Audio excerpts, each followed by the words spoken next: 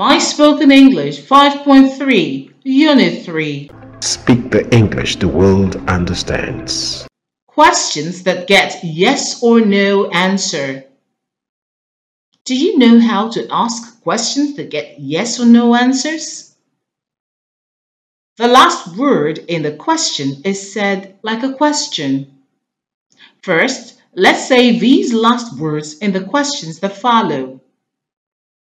Me, Nigerian, friend, yesterday, embarrassed.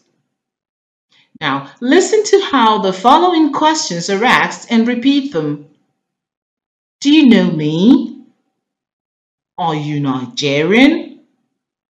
Is he your friend? Did it rain yesterday? Were you embarrassed? The answer to each of the five questions is either yes or no. Speak the English the world understands.